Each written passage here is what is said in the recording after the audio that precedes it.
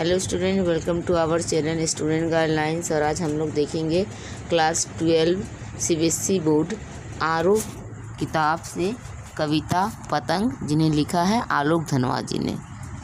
तो इसमें से आर जो किताब है, इसकी पतंग कविता से हम लोग देखेंगे कुछ महत्वपूर्ण प्रश्न उत्तर। तो चलिए देखते हैं इंपॉर्टेंट क्वेश्चंस जो है। नंबर एक, पतंग कविता का प्रतिपाद बताइए। ठीक है? तो क्या है? इस कविता में कवि ने बाल सुलभ इच्छाओं का सुंदर वर्णन किया है। कविता को अगर आप पढ़ेंगे तो हम लोग क्या देखते हैं कि बचपना का, बाल अवस्था का वर्णन किया गया है। तो इस कविता में कवि ने बाल सुलभ इच्छाओं का सुंदर वर्णन किया है। पतंग बच्चों की उमंग व उल्लास का रंग बिरंगा सपना है। शरद ऋतु में मौसम साफ़ हो जाता है। चमकीली धूप जो होती है, बच्चों को आकर्षित करती है। वो इस अच्छे मौसम में पतंग उड़ाते हैं। आसमान में उड़ती पतंगों को उनका बाल मन छूना चाहता है। उनकी कल्पनाएँ पतंगों के सहारे आसमान को पार करना चाहती है। प्रकृति भी इनका सहयोग करती हैं। तितलियाँ उनके सपनों की रंगीली रंगीली को बढ़ा देते, रंग, रंगों को बढ़ा देते, ठीक है? उनके सपनों की रंगों को, रंगोली को बढ़ा देते हैं। अगला प्रश्न है, शरद ऋतु और भादों में अंतर स्पष्ट कीजिए। शरद ऋतु क्या है, भादों क्या दोनों के बीच अंतर है? ज़ाहिर सी बात है, एक में बहुत ज़्यादा बारिश होता है भादों का महीना। तो भादों के महीने में काले काले बादल घुमड़ाते रहते हैं और तेज़ बारिश होती है। बादलों के कारण क्या होता है? कभी कभी अंधेरा छा जाता है।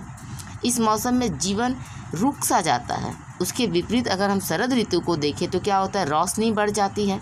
मौसम साफ़ हो जाता है, धूप चमकीली हो जाती है चारों तरफ़ उमंग का माहौल होता है। ठीक है? अगला, शरद का आगमन किसके लिए होता है? लिखेंगे, शरद का आगमन बच्चों की खुशियों के लिए होता है, क्योंकि वो पतंगे उड़ाते हैं। वो दुनिया की सबसे पतली कमाने के साथ सबसे हल्के वस्तु को उड़ाना चाहती है। उनके मन में हर्ष और उल्लास की लहर दौड़ उठती है। ठीक है, अगला प्रश्न देखेंगे। अगला प्रश्न क्या है? बच्चों के बारे में कवि ने क्या क्या बताया है? तो लिखेंगे क्या? कवि बताता है कि बच्चे कपास की तरह लचीले और नरम होते हैं। वो पतंग उड़ाते हैं तथा झूल में रहकर सीटियाँ भी बजाते हैं। वो छतों पर बेसुध होकर दौड़ते हैं और गिरने पर भयभीत भी नहीं होते हैं।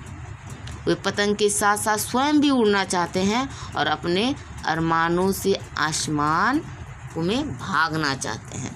ठीक है, अगला प्रश्न। प्रयुक्त काव्यांश में कवि ने सबसे शब्द का प्रयोग कई बार किया क्या वो, क्या वे सार्थक हैं? तो कवि ने हल्की रंगीन चीज़, कागज़, पतली कमानी का प्रयोग सबसे शब्द का सार्थक ढंग से प्रयोग किया गया है। कभी ये बताने की कोशिश करते हैं, पतंग के निर्माण में हर वो चीज़ जो लगता है वो हल्की होती है, तभी वो उड़ सकती है। इसके अतिरिक्त वह पतंग के विशिष्ट पतंग को विशिष्ट दर्जा भी देना चाहते हैं। अगला प्रश्न, किन किन शब्दों का प्रयोग करके कवि ने इस कविता को जीवंत बना दिया? मतलब ऐसा कौन कौन सा शब्द है जिसका प्रयोग किया गया है जो कविता को जान डालती है? क्या है? तेज बौछारे गई भादों का। भादो गया। नई चमकीली तेज साइकिल, चमकीले इशारे अपने साथ लाते हैं कपास। छतों को भी नरम बनाते हुए ये वो सारे शब्द है का प्रयोग किया गया है, जो कविता को जीवंत रूप प्रदान करता है। किशोर और युवा वर्ग समाज के मार्गदर्शक हैं।